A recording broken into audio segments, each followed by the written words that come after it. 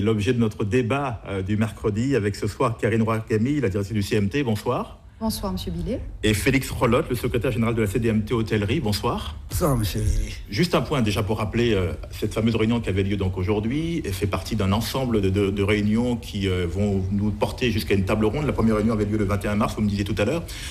Qu'est-ce qu'on dit précisément dans ces réunions et ça rassemble qui?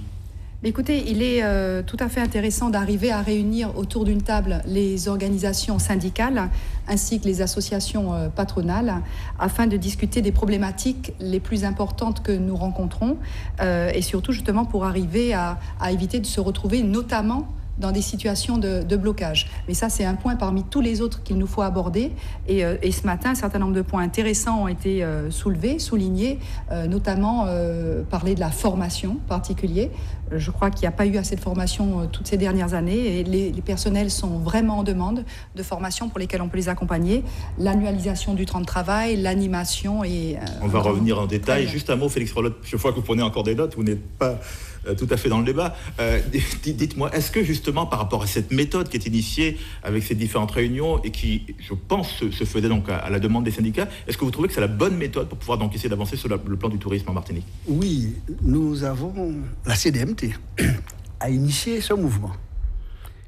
Je ne vais pas faire l'historique de la question, mais enfin, c'était à faire puisque chacun sait que le secteur du tourisme est considéré comme un, secteur en, souffrance, disons ça comme ça. Alors que nous, nous pensons que ce n'est pas un secteur en souffrance, qu'il y a de la vie dans ce... Et de l'avenir. Et de l'avenir, et de l'avenir. Donc, euh, nous avons tenté de mettre ensemble tous ceux qui sont intéressés par le développement euh, de ce secteur à la Martinique.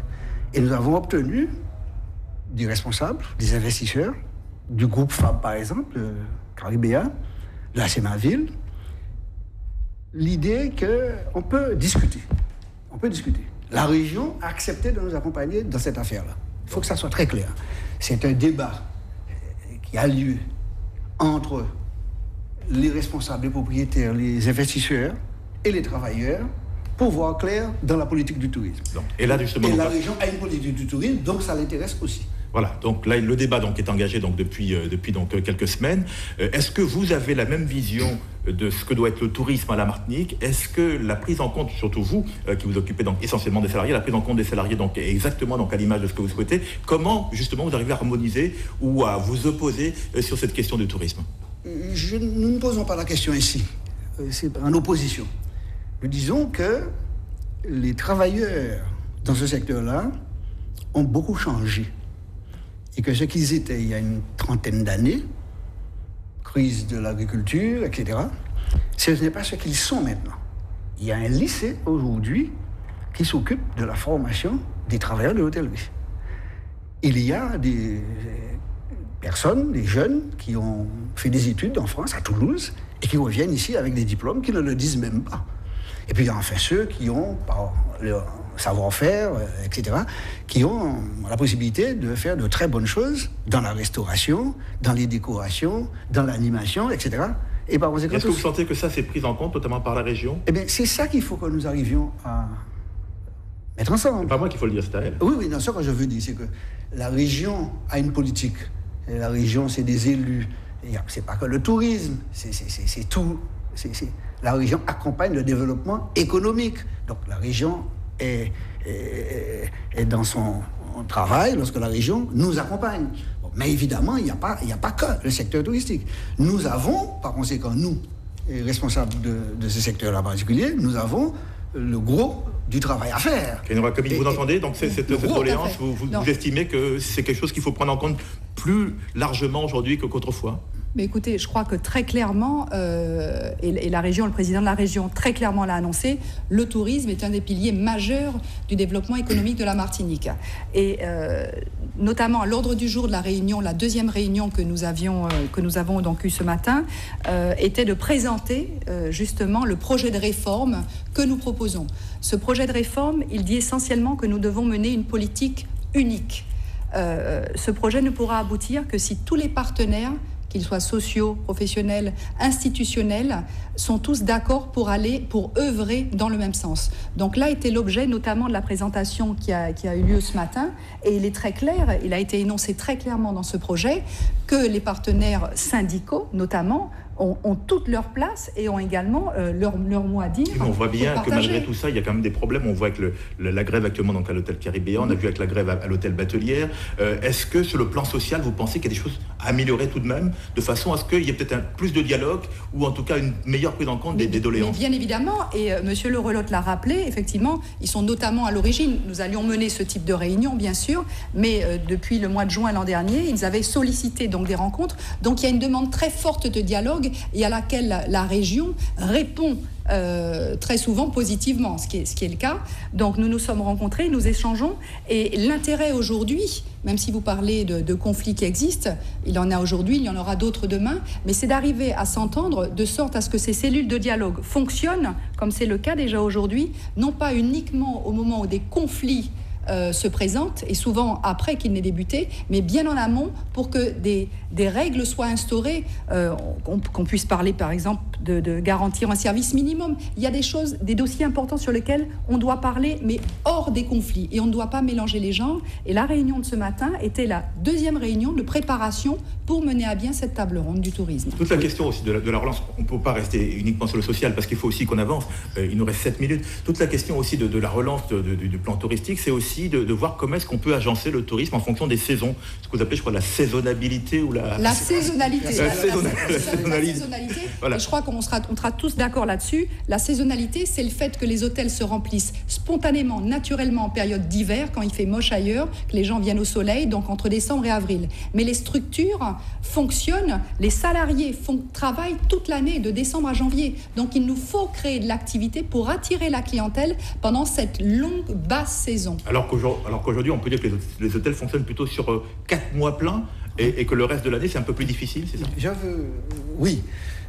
Il y a la saisonnalité en France quand il s'agit de l'hiver. Il n'y a pas l'hiver 12 euh, mois sur 12 en France. Il y a la saisonnalité quand euh, on va au bord de mer, parce que c'est à ce moment-là qu'il y a du soleil. Il y a la saisonnalité quand on va en montagne, etc. La saisonnalité peut être naturelle, en Martinique, il n'y a pas de saisonnalité. C'est nous qui faisons la saisonnalité. C'est nous qui disons, bon, eh bien, comme les gens vont... D'ailleurs, on va les chercher à cette période-là. Parce qu'à cette période-là, c'est mieux, puisqu'ils ont de mauvaises conditions. Mais ce que nous disons, c'est que nous pouvons faire du tourisme du 1er janvier au 31 décembre à la Martinique. Et ça, euh, nous critiquons les investisseurs, nous critiquons les responsables de l'hôtellerie, qui n'ont qu'une chose en tête, c'est aller voir la région pour essayer de boucher les trous. C'est-à-dire prendre de l'argent public sur lequel on n'a pas Absolument, et ça, je suis. Je, je, dénonce ça. Je voudrais, je voudrais revenir sur la saisonnalité l'exemple que vous avez pris, M. Relotte, de la France. Ah oui, oui. Avec euh, sur la côte d'Azur, ça fonctionne très bien l'été, et euh, l'hiver au ski. Il faut donc savoir qu'il y a énormément de personnel saisonnier qui, lorsqu'ils ne sont pas l'hiver au ski, vont sur la côte d'Azur ensuite. Ce que je veux dire, madame, c'est on ne peut pas régler ce, on peut pas, régler une activité saisonnière en France. Pourquoi veut-on on faire une activité On ne peut pas régler ce problème-là de la même façon à la Martinique. Nous sommes sur une île. On ne peut pas dire au personnel, ben, écoutez, on vous prend six mois et ensuite débrouillez-vous, partir ailleurs. C'est pas, c'est pas du tout comme ça que ça fonctionne. Et c'est bien pour ça. Permettez-moi de terminer mon propos. Permettez-moi de terminer mon propos. Et donc, d'où le problème de saisonnalité, il, il existe. Donc, nous voulons. Non, il n'existe pas. Nous, avons une différence sur ça. Non. C'est nous qui faisons la saisonnalité. Monsieur, Relotte, Je connais des hôtels qui fonctionnent du 1er janvier au 31 décembre. Monsieur Relotte, et, au, complet en plus. La saisonnalité. il y a un travail qui se fait. On vient spontanément aux Antilles lorsqu'il fait froid ailleurs. Le reste du temps, quand il fait beau chez soi, soit on reste chez soi, soit on va, on fait un tourisme de proximité. Qu'est-ce qui va attirer les touristes pour venir chez nous ça, notre entre avril Mais c'est c'est ce que les investisseurs doivent faire et par ça réclamer du fric. Ils font plus d'efforts vers la région pour avoir de l'argent que faire des efforts pour faire venir les, gens au moment où ils disent que l'activité est creuse. Vous étiez, vous étiez présent ce matin.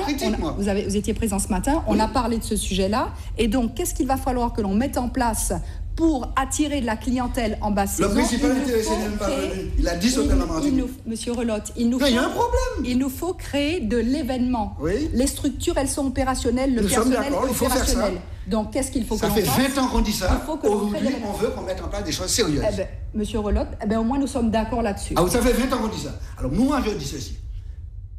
Un, nous avons des travailleurs dans ce secteur-là qui souffrent. Et sans ces travailleurs-là, nous ne pourrons pas développer le tourisme. Deux, il nous faut des structures pour ça. À la fois pour consolider ce qu'il y a là, faire les rénovations, etc., et pour implanter de nouveau et voir là où on les implante et pourquoi il faut les implanter. Il y a des investisseurs, il y a des gens qui pensent qu'on peut développer le tourisme. La baie de Fort-de-France est un endroit, est un lieu qu'on peut exploiter bien mieux que ce qui se fait là. Donc il y a, il y a de l'avenir. Et justement, euh, quand on voit que la région veut aujourd'hui raccrocher donc à des événements culturels ou sportifs, on le voit avec le, Benodé, avec le Benodé, Oui. euh, Martinique, là, c'est vraiment, c'est vraiment, un une, bonne idée. C'est un élément. Il faut euh, fusionner. Il faut qu'il y ait un faisceau d'éléments pour permettre d'avoir un champ correct. Il n'y a pas de problème sur ça, Justement, le Benodé Mar-. Martinique, on en parle beaucoup, et surtout sur Martinique Première et, et les chaînes Oui. de, de- de notre groupe, mais on n'a pas encore ce, ce retentissement au niveau national. Est-ce que c'est quelque chose qui vous déçoit euh, par rapport à la route du Rhum, ou bien est-ce que bon, vous dites que ça va se Alors, faire avec déjà, le... déjà, déjà, très très clairement, notre première course transatlantique, on ne peut pas la comparer à la route du Rhum, qui a etc. d'éditions euh, derrière elle. C'est une première pour nous. Il fallait qu'on le lance.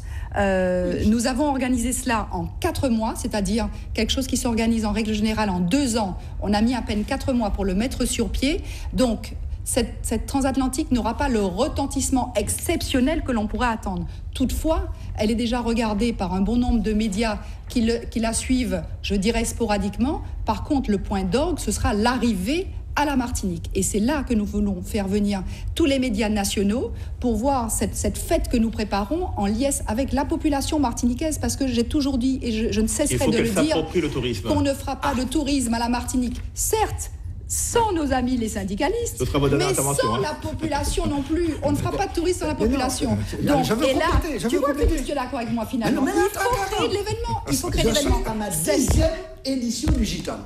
Ma dixième. Mm. C'est la journée des travailleurs pour l'accueil martiniquais. Dixième édition. Et dernière intervention, hein, allez-y. Bon, dixième. Qui veut dire que ce que nous, nous avons cru depuis longtemps, c'est que le développement du tourisme, ça va passer par les travailleurs de la Martinique, par les- la population martiniquaise, par le peuple martiniquais. Ça, c'est fondamental. Les autres vont venir, il faut leur offrir quelque Mais chose. une fois qu'on a dit ça, il faut bien trouver un Il moyen de leur les il faut créer. Il faut créer de l'animation. Il faut. Tu ne peux pas créer si tu ne fais pas le nécessaire à la base, à l'école. Je me suis battu pour qu'il y ait au rectorat quelqu'un qui s'occupe du tourisme.